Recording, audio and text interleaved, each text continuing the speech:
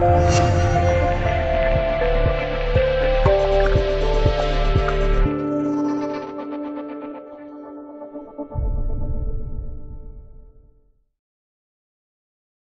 界冠军没做，这是怎么回事呢？今天小编在网上看到这么几张让人心酸的照片，照片上看到国乒队员们在地铁上东倒西歪的，看着样子好像很累。最惨的是，竟然连个座都没有，只能靠墙角蹲着的，坐货物铁架上休息的。总的说，各种惨状都有，可怜我们这些为国争取荣誉的功勋人员了。后面好奇的小编了解到。原来他们是赶往参加二零一八年的全国乒乓球锦标赛，因为时间匆忙于九月七日开战，快来不及了，所以我们的国乒三大世界冠军只能无奈奔赴赛场了。这次出战的男队成员有许昕、樊振东、方博，他们得先在高峰期时段赶地铁，然后再搭飞机。有网友看到那些照片，不禁想到徐峥导演的那部《人在囧途》。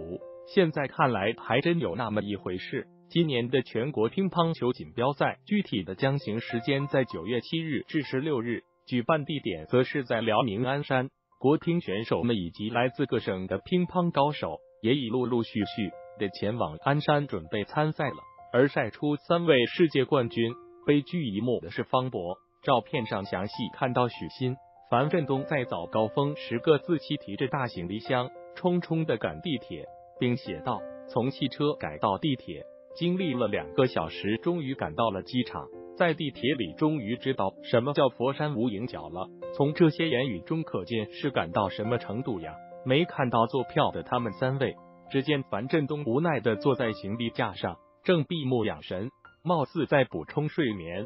看来是早上赶早了。方博自己的举动更为滑稽，自己把自己蜷缩在一团，并且靠在窗的角落上。”可能是空调开的太冷了，被冷水吹的。许昕也是靠在自己的行李箱上，凝望着窗外的美景，貌似心中思虑万千，估计在考虑怎么面对这场比赛。不管怎么样，都要为他们加油。